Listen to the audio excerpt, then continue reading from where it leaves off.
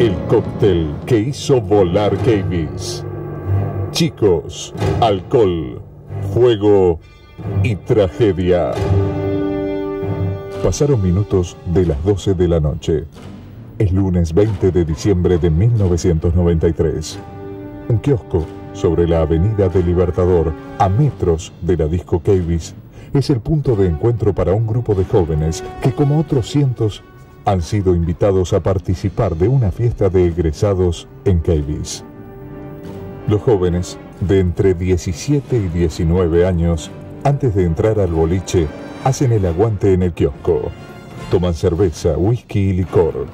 De allí partirán hacia Cavis, alcoholizados y con varias petacas en sus bolsillos.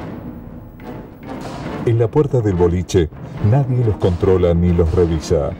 Adentro de Cavis, todo es una gran fiesta. Los 600 jóvenes, que rebasan largamente las 310 personas permitidas por la habilitación del local, saltan, gritan y cantan al ritmo de una música ensordecedora. La fiesta de egresados parecía ser inolvidable, como rezaba la tarjeta de invitación. Nadie podía imaginar el infierno que se estaba por desatar.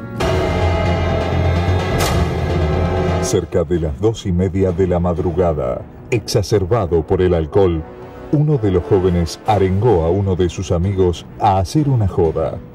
Entre risas, esparcieron el contenido de una petaca sobre uno de los sillones y con un encendedor lo prendieron. El alcohol, la goma espuma y la cuerina que recubría el sillón hicieron el resto. El sillón rápidamente entró en combustión y la noche se partió en dos. El fuego se expandió por las telas que recubrían las paredes y en forma vertical, velozmente, creció hasta el techo. El horror se hizo presente en la disco. El fuego, gracias a la decoración altamente inflamable, ganó casi todo Keynes. Los chicos que disfrutaban de la fiesta desesperados comenzaron a correr, buscando huir de la tragedia. Apagaron las luces y ya estaba toda la gente ahí, ya estaban todos gritando y, y encima apagaron las luces, pues ya, ya ahí es como que, ¿para dónde voy? Intentaron escapar del fuego por un patio que había en el fondo de la disco, pero la puerta de rejas estaba cerrada con una cadena y un candado. La marea de chicos entonces se abalanzó sobre la pequeña puerta principal, mientras otros escapaban por las ventanas. El exceso de gente y la falta de salidas de emergencia generaron en la entrada de Cavis el efecto puerta 12. Entre gritos y llantos, unos sobre otros se iban amontonando, intentando escapar del infierno. La presión y la desesperación por salir trabó la puerta. Las dos hojas de acero que les estaban impidiendo salir se abrían solo para adentro. Cuando por fin lograron destrabarla, una avalancha de adolescentes se derramó aterrorizada sobre Avenida del Libertador. En la desesperación, chicas y chicos caminaron sobre los desmayados. Diez minutos después del comienzo del incendio, ya no quedaba casi nada del techo de madera y alquitrán de la disco. Adentro, Todavía un grupo de nueve jóvenes buscaba desesperadamente la manera de huir del horror. Pedazos de techo y mampostería en llamas les fueron cercando el camino hacia la puerta y los llevaron a refugiarse en los baños de la disco, el único lugar que el fuego no había podido alcanzar.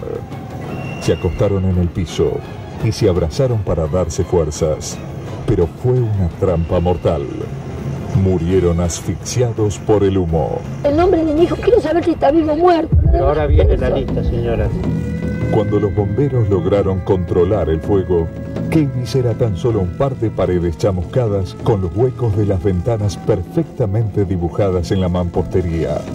Todo lo demás eran restos carbonizados, donde se mezclaban hierros retorcidos y los cuerpos de 16 chicos de entre 15 y 20 años. Y también el de Cristian Fajardo, uno de los dueños de la disco. Sea como fuere, Lo cierto es que el 20 de diciembre de 1993 se comenzó a correr el velo de la verdadera relación entre los jóvenes, el alcohol y la noche. Ese cóctel explosivo fue el que mató a 17 jóvenes e hizo volar a Cavis.